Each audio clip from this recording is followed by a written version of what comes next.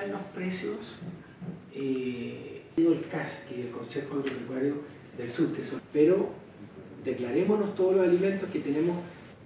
¿Cómo se hace en los casos por los que saltaban, por ejemplo, el trayecto que hace San Antonio y Santiago? Que sea el tema. Eh, y para eso se sacó una ley y ahora en la región de la Gran Primero quiero agradecerle muy sinceramente a mi querido amigo y ministro Alberto Espina por la tremenda colaboración que le ha dado la Fuerza Armada al Ministerio de Agricultura. Hemos trabajado juntos en los incendios, hemos trabajado juntos en las lluvias eh, altiplánicas del, norte y hoy día el ministro Espina nos viene a ofrecer toda su colaboración para eh, la distribución, el abastecimiento de eh, alimentos para Chile y para los chilenos. La verdad es que la primera medida que tomamos como Ministerio de Agricultura en esta pandemia fue sacar un protocolo para cuidar a todas las personas que trabajan en la agricultura eh, chilena. Y ahora tenemos una buena noticia. Chile está bien abastecido de alimentos.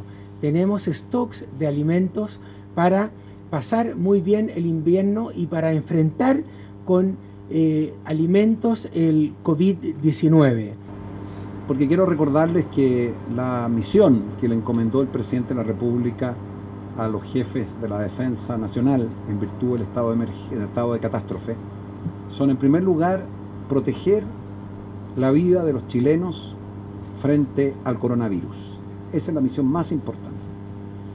Pero tan importante es también que logremos tener una cadena de distribución de la alimentación para todos nuestros compatriotas y por lo tanto de todos los productos agrícolas que llegue a todo Chile.